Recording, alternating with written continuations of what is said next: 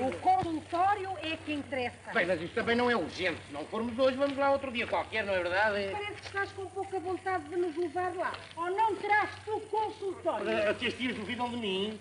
De mim. Ó filho, eu às vezes até chego a duvidar que tu sejas doutor. Oh, mas quem é que lhes meteu estas caraminholas na cabeça? Então, eu não sou doutor. Oh, palavra de honra, eu às vezes até fico melindrado e ressentido com as tias. Então, eu não sou doutor. Ora, eu ainda bem que não foi embora, senhor doutor. Eu- Vem, vem, como eu sou doutor. Oh, senhor doutor, um dos seus doentes está muito mal. Preciso que o senhor doutor venha comigo já. Quando não, senhor, é capaz de ir embora. Então vamos embora. Vamos embora. Olha, as tias ficam aqui a brincar com os milhõezinhos, não fazem mal nenhum, fazem festinhas, eu vou lá ver, compreendem? Os deveres profissionais, não é verdade? Então sou ou não sou doutor? Vamos embora. Chame-me doutor, homem. Sim, senhor doutor. Mais alto, homem. Sim, senhor doutor. Então sou ou não sou doutor? Ora, aqui está o seu doente.